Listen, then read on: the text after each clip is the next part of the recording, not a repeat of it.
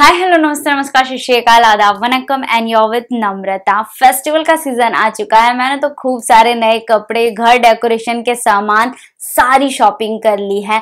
अब बस मुझे अपने बालों का थोड़ा सा केयर करना है। जैसा कि आपको पता है, आज के टाइम में सबसे बड़ी प्रॉब्लम हेयर की है ग्रे हेयर अब मैं आपको दिखा देती हूँ कि मुझे भी काफ़ी ग्रे हेयर हो चुके हैं और इससे मैं हमेशा परेशान रहती हूँ यू कैन सी तो आज मैं आपको दिखाऊँगी कि मैं अपने ग्रे हेयर को कैसे आसानी से कवर करती हूँ और इसके लिए मैं यूज़ करती हूँ new Godrej expert rich creme hair colour और अगर आप ये सोच रहे हैं कि ये हेयर कलर कॉस्टली है तो मैं आपको बता दूँ, इसका प्राइस है ओनली थर्टी थ्री रुपीज़ और इस हेयर कलर का जो मेन इंग्रेडिएंट है विच इज़ माई फेवरेट वो है aloe vera also it has no ammonia जैसे कि हम सबको पता है एलोवेरा हमारे स्किन के लिए कितना अच्छा होता है हेयर के लिए कितना अच्छा होता है, और इस हेयर कलर में एलोवेरा 10 गुना ज़्यादा डाला गया है। इट मीन्स कि ये हेयर कलर आपके ग्रे हेयर को तो कवर करेगा ही करेगा,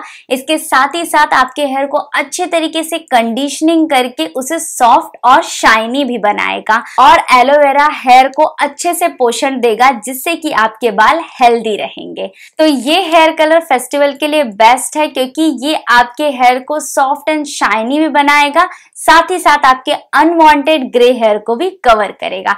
तो चलिए देख लेते हैं फटाफट से कि इसे लगाना कैसे है। इस हेयर कलर में पाँच शेड आते हैं, आप कोई भी हेयर कलर सिलेक्ट कर सकते हैं। मेरा जो शेड है, वो है डार्क ब्राउन इस पैकेट में दो सैशे मिलेंगे, एक डेवलपर, दूसरा colour and hair colour.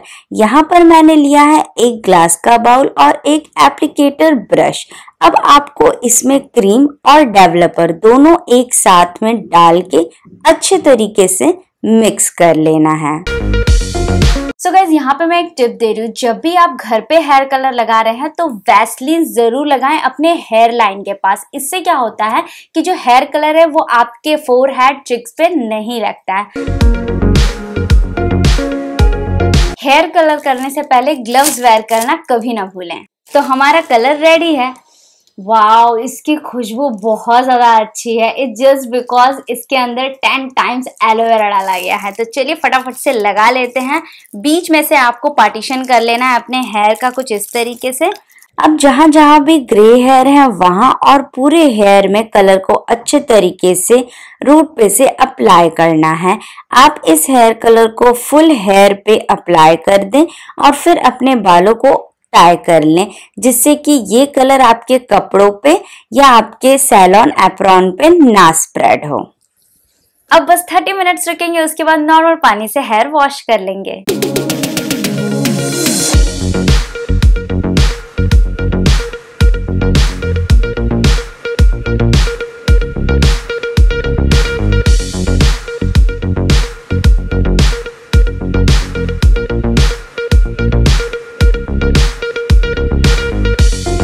Hair wash करने के बाद आप देख सकते हैं कि मेरे ग्रे हेयर अब बिल्कुल भी नहीं दिख रहे हैं और हेयर स्मूथ और शाइनी भी हो चुका है।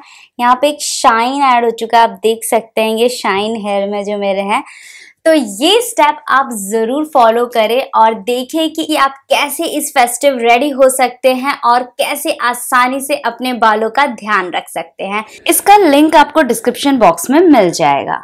So yeah guys, that's it for this video. मैं मिलूँगी next video में. Till then, bye and be stylish.